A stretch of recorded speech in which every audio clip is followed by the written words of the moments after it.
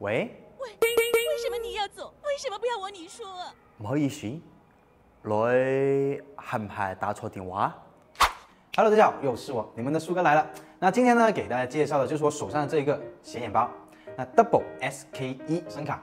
那其实声卡到底是一个什么样的东西呢？啊，一直以来都会有很多小伙伴问我们这个问题啊。那我们平时录制的弹唱还有指弹 MV 视频里面的这个音质，到底是怎么样录制出来这么清晰和干净的啊？平时如果大家用手机去录视频，要么就是很小声啊，要么就是录出来的声音啊是全损的音质。那声卡的话就可以完全解决你们刚刚所说的这两个问题了。那首先呢，声卡它是一个声音转化的一个媒介啊，它会把声音的模拟信号转化为数字信号。然后再传到手机或者电脑和平板这些设备上面。然后，如果你要录音或者直播弹唱的时候呢，你的人声是可以通过麦克风去采集。那乐器呢，则是通过拾音器来采集，然后通过乐器连接线同步输入到声卡里面啊。那声卡呢，会把这个输入进来的声音转化为手机、电脑、平板等这些设备可以接收的一个信号。那这样我们录制出来的一个声音啊，就是非常干净和清晰的一个效果。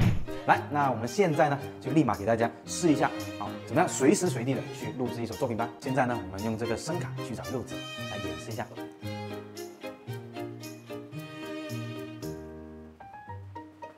嘿，柚子在干嘛？在练琴啊。要不我们来录一首弹唱歌曲好不好？好呀。好，那我们拿到声卡以后呢，首先第一步，我们先把这个麦克风的线给插好。好，插好以后，接下来我们要拿一把电箱吉他来看一下，电箱琴哈。然后我们用一条乐器连接线来连接我们的一个吉他，还有我们的这个声卡。好，装好以后呢？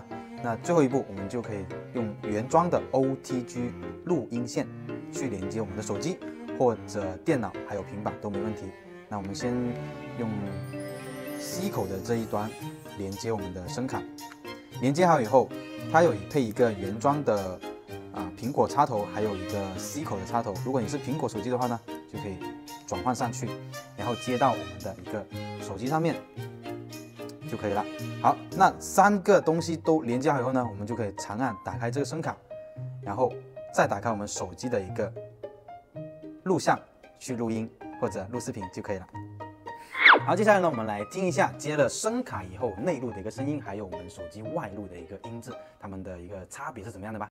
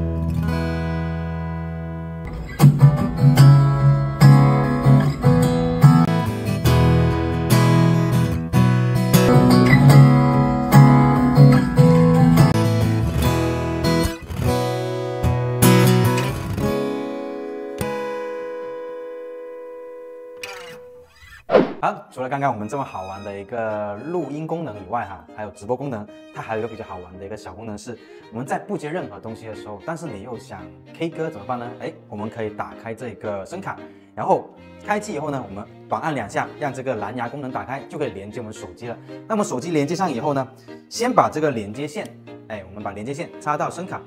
还有音箱上面，因为我们等一下 K 歌用哈，所以先插好。那如果麦克风同学把麦克风插到我们的音箱上面，哎，准备去 K 歌就可以了。那这个时候呢，我们的手机还有声卡的蓝牙功能是已经连接好了。那这个时候我们播一首五月天的这个《突然好想你》，听一下。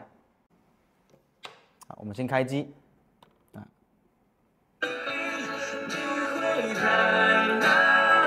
好，那现在的话，我们想把这个人声给去掉，想唱这个伴奏，按一下。哎，就可以消掉人声了。好想你，突然锋利的回忆，突然模糊，按一下眼睛，哎，是不是原唱又回来了？特别好玩的一个功能哈。那我们平时专业录制需要用到的声卡还有麦克风呢，价格相对来说也是比较昂贵哈。那如果是自己啊平时玩一玩录音或者录一些弹唱视频的话，对于一些同学来说成本呢也是比较大的。那这款声卡的一个出现呢，就非常合适我们业余爱好者的一个需求。哎，非常亲民的一个价格啊，只需要三位数，同时操作简单，体积小，哎，非常方便携带。它只有一个充电宝的一个大小。不管你到哪里哈，都可以随时随地拿出来录音，或者啊我们的直播分享自己喜欢的歌曲都没问题的。那今天的测评呢，我们就到这里。喜欢我们这款小声卡的同学啊，可以到我们的淘宝店大叔音乐屋购买到哦。那我们下个测评再见，拜拜。